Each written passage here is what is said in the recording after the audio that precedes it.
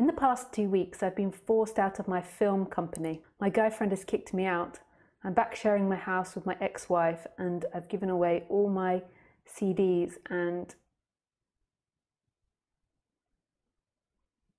carniv- carnivore, carnivorous, carnivorous. No, I, I know what the word is, but I just can't say it. Plant connection, but that's really irrelevant that you had to give away all your plants. I mean, I know that's painful, I'm sure, but it's kind of irrelevant parts of the question. Today, ego manifested physically a whole tange of physical reminders of pain, but I'm watching the pain. What the fuck is going on? I don't know what the fuck's going on. What's the fuck going on, David?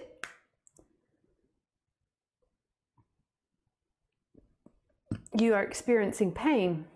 Pain is arising, and more than likely, you really don't want that pain.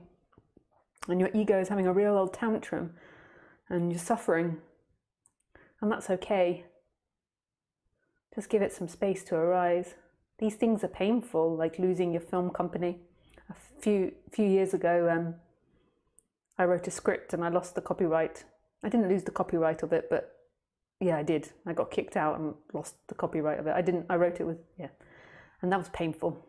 It was painful these things, but I didn't quite tell that story accurately because I didn't want to expose anybody or anything. So forget my story. I can't really take, tell it. Um, but yes, that was very painful. And so I can imagine losing a film company is very painful. And your girlfriend kicked you out and you're now with your ex wife. And you've lost all these things. And basically, you're suffering. And there's two things you can do. You can either sit in it, so you can just go and lay on the bed, or sit outside in the garden, or sit on the sofa and just allow the feelings to arise, just to be there.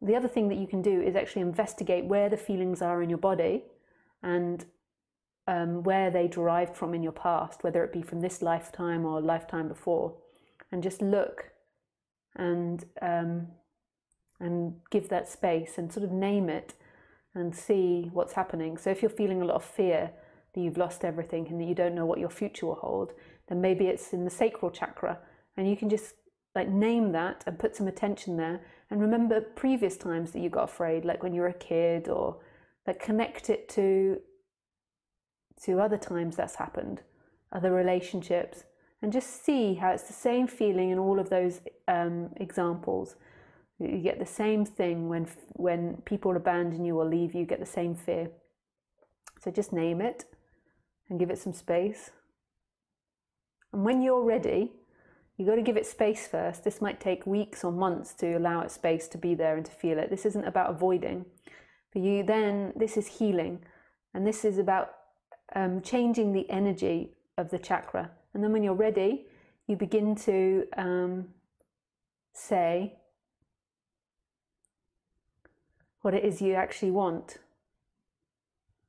And you can just name it. Like you want someone to come in and love you. You want someone to come and protect you.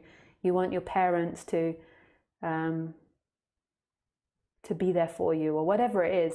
You like support. You want support. You want help. You want safety. You want a better job. Whatever it is, anything that is positive, just begin to say it from that place, and then begin to feel that chakra expand and open up but only do that stage when you're beginning to feel it expand and open up. It's the healing stage. But first of all, you have to accept it and you have to get to the bottom of it. You have to know what that chakra is avoiding and what it's resisting and relate it to your life, like see the pattern in your life of that feeling.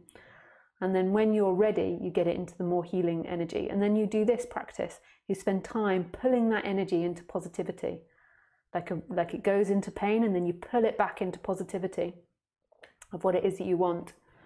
Um, and you can do that with all your chakras. And this is a very this is healing. And this isn't personal. So some people are like yeah but it's the personal self. You've got to ignore the story and just put your attention into consciousness. And to me i don't see it like that. I see that the personal self is held as energies in the body and um, stories inside the body. And there's main energy centers in which they're focused. It happens all over the body. So you can have a story in your shoulder in your elbow in your wrist in your legs um, but they're held in the main chakra centers, so the seven chakra centers. And that's not a personal thing. It's not like there's a personal self held in your body. You have memories and traumas held into your body. And when you're waking up, they begin to get released from the body. They won't all disappear, you'll get new ones, it's just part of it. But you'll begin to even out and balance them out. The separate self isn't that. The separate self is an energy which says, that is who I am and that's who's experiencing the world. That's the lie. That's not who you are. Energy which claims these traumas or these habits or the conditions that says that's me and I'm a separate entity looking out of the body. And you're not a separate entity looking out of the body. Your wholeness now experiencing. You're this massive space, and in that there's a vessel called this body. And um, and the reason that I teach the healing of the body, and it sounds like I'm teaching through doership, but I'm not actually because there is no doership. There is no me prescribing to you. There is only life happening, and I'm describing something that can happen in the David machine. And whether that happens is down to life, it's down to God's will as to the way it happens. Just like if I were to teach you how to ride a horse, like um, you could still do that and you wouldn't think, oh, it's the personal self. It's just healing for the body. And that healing for the body doesn't lead you to non duality because you're already in non duality. It's a different subject. But I bring it up because often when you're hearing this subject, it can't be heard because you're so identified with these past pains and with these stories and with these traumas in the body. And so, what I do is just when somebody's really traumatized in it, it's not that I do it so they can become enlightened in the future. I do it out of compassion because it's a way of releasing that energy there. And then non duality will be heard when it's heard. Like you keep on repeating it and you bring it back to non duality and you keep seeing that those feelings aren't um, what keeps me suffering. They're, they're simply pain or pleasure. What keeps me suffering is a belief that it is me. Um, you keep hearing that, and eventually non duality will occur when it's ready and when it's time. And this whole idea of you getting to enlightenment is just a sol- solar plexus dysfunction. Like it's this longing in the solar plexus for achieving something, this hope. And it's actually a dysfunction, it's irrelevant. But out of compassion, I offer these other um, examples of ways of dealing with the emotional body because often people are stuck in the world of the emotions and even though they keep moving their attention back to nothing back to nothing back to consciousness which is also a great practice for the mind it's not free in the body of those traumas that dread that you wake up with or the nightmares that you're having at night or the, the discomfort when you see your family whatever it is. Like pulling yourself out of it's not going to to get rid of that and and moving yourself to consciousness or to I am is a practice. I'm not dismissing it and saying don't do it. I think it's beautiful to do that.